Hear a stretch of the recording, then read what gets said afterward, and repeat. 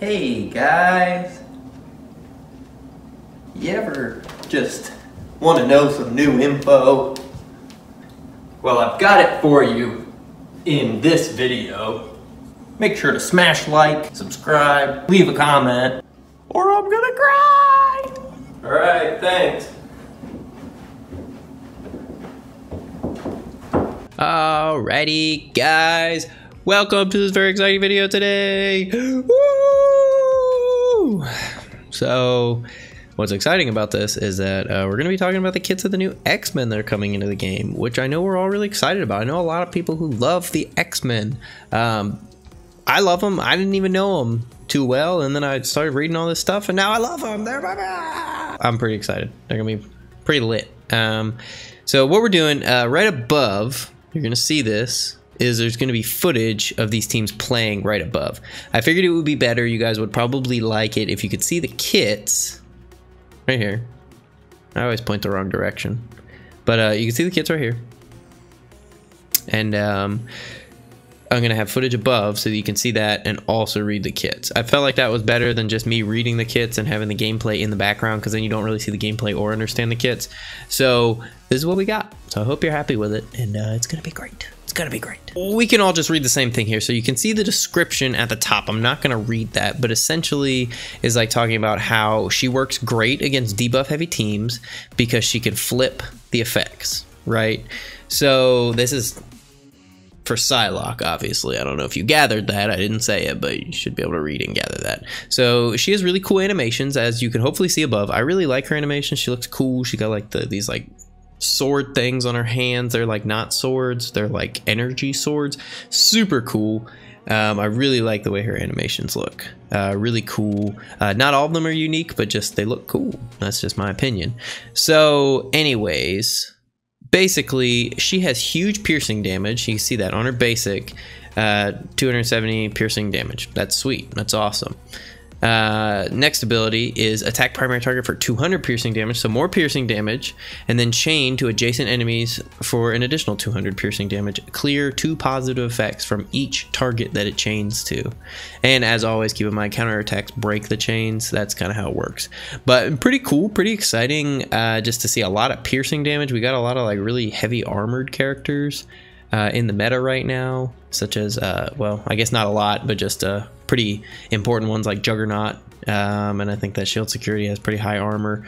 So that said, this will be good. This will like shred through those guys because the way that my understanding of piercing damage works is that it does not take into account the armor. Uh, that could be completely wrong. Don't quote me on that. That's just those first two attacks. It says above like a little tips that's saying that it could be good to pair her up with Wolverine because of his piercing damage. We'll get we'll talk a little more about Wolverine later, but uh, not too sure if they're doing too much with him. Haven't gotten much information on if he's changing or what's up with that.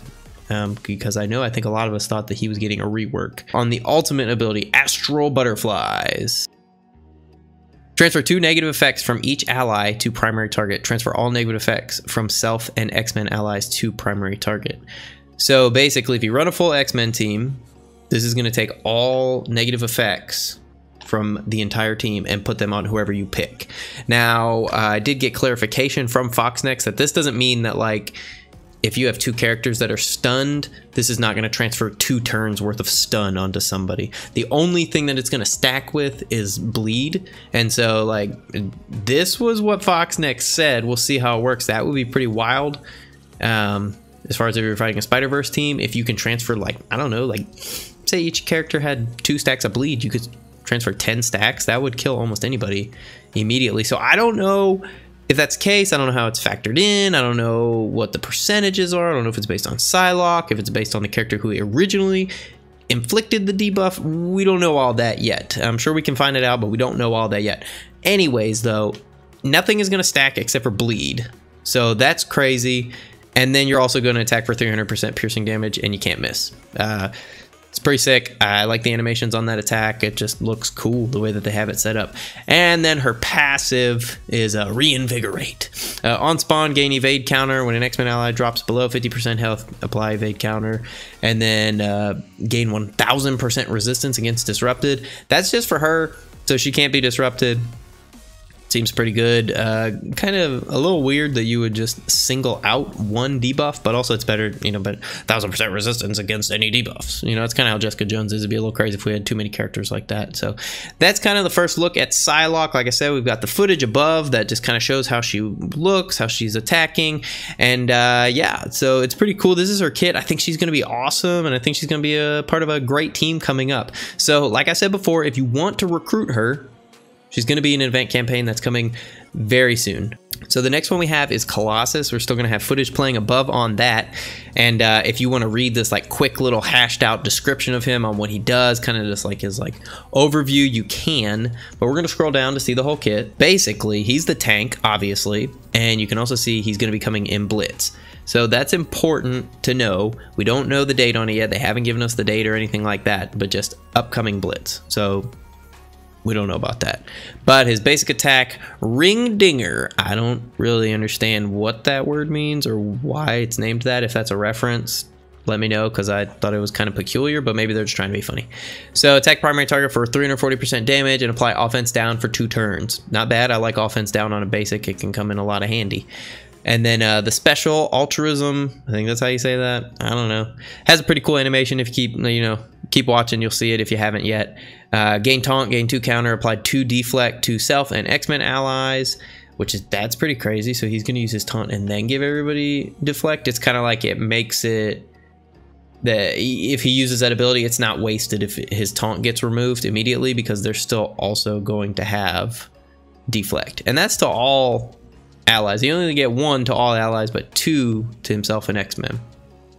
And so if Phoenix is an ally, the taunt goes to two turns. So it says gain taunt with the ability, and then says if Phoenix is ally, gain taunt for two turns. So uh, I'm not totally sure if that's going to mean three turns total if Phoenix is on the team or not. We'll have to test that out when time comes around. But so far, gain taunt, and then says two turns. So then ultimate, uh, I like this. This is unique. We haven't seen this sort of ability before, but I think this is really cool. So increase duration of positive effects on self by three more up to a maximum of five. So I assume that if you already have taunt for two turns and you use this, it will go up to five. But if for somehow you had taunt for four turns and you used it, it's not going to go to seven. It'll just go to five. So same with all the rest of the stuff. So gain two death proof, which is awesome, and then gain two plus charge up to a maximum of five. We'll see what charge does as we go down further. So on spawn, if he's charged, generate one ability energy for self and then clear the charge. I don't really know how he's going to start with charged, but if he does, he'll gain an energy. Again, we'll see how this plays out as it goes.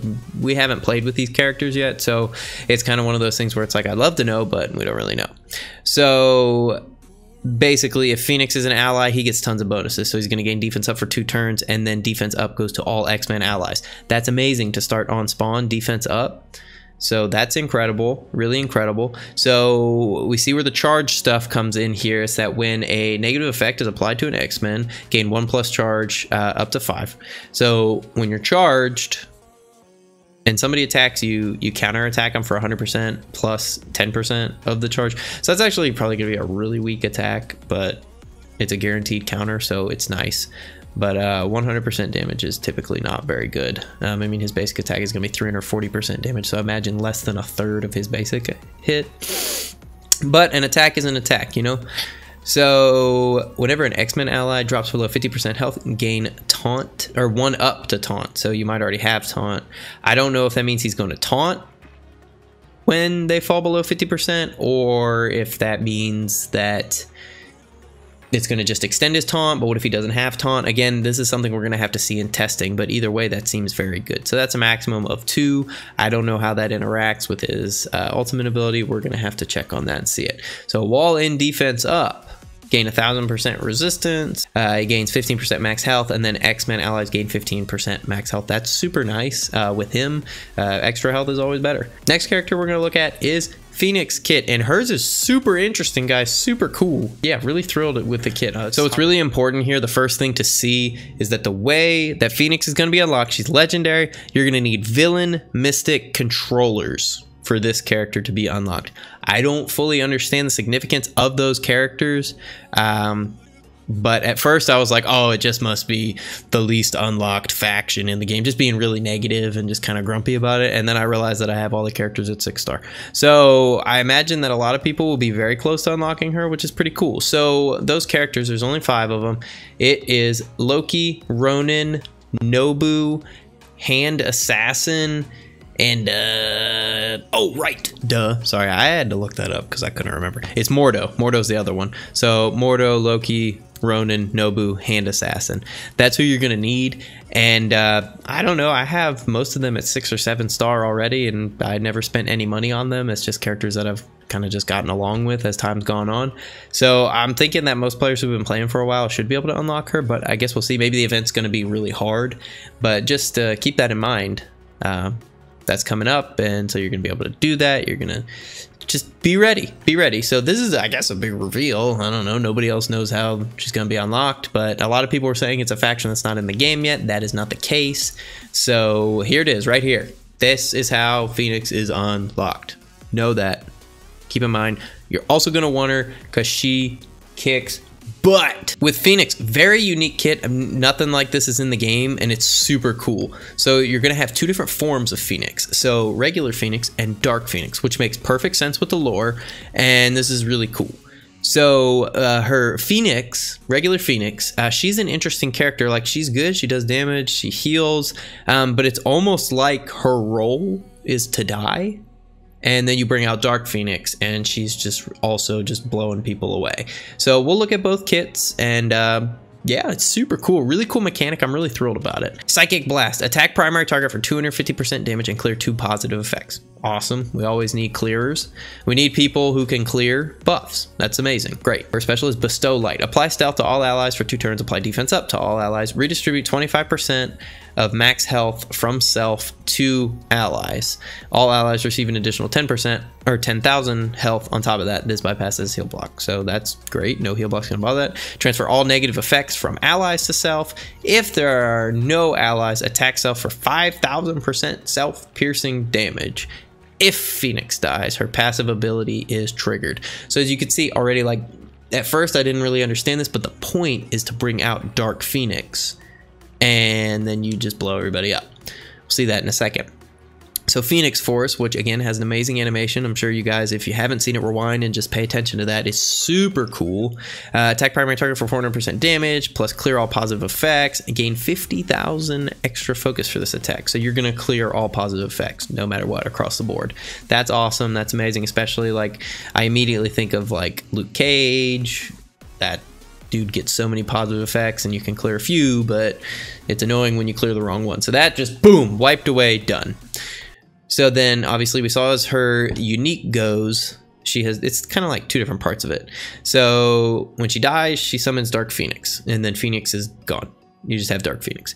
So on ally taunt, gain taunt, that's kind of again to like mitigate like damage going to her and like mitigate it from her allies, but it brings it to her because you want her to die. Gain 30% damage, X-Men allies also gain 30% damage. Gain 30% max health, X-Men allies gain 30% max health. So if you remember from Colossus, we're already gaining 15% max health for all X-Men and so that's going to be an extra 45% health from whatever their basic stats are. That's incredible. Really, really incredible. So that's Phoenix. She looks really, really good. And then let's go to Dark Phoenix. Essentially not that much different, but her basic is a lot better. It's like a Quake or Shuri type where the basic hits adjacent targets. Uh, the damage is 250%. Don't really know uh, if that's going to be good or not. Most likely not. Most basic attacks don't do a ton of damage, um, but clear two positive effects from each target. So if you have you know, if you've got people you're able to hit all three, you're going to clear two positive effects from every target. That's amazing. You're going to completely control their positive effects. This is just going to be unstoppable. Then you're going to steal 20% health from all enemies and redistribute to self. Apply regeneration to all allies and apply an additional regenerate to X-Men allies. So the way that this was described to me is that this is going to be like Minerva's redistributing of the health. So this will bypass health block and everything.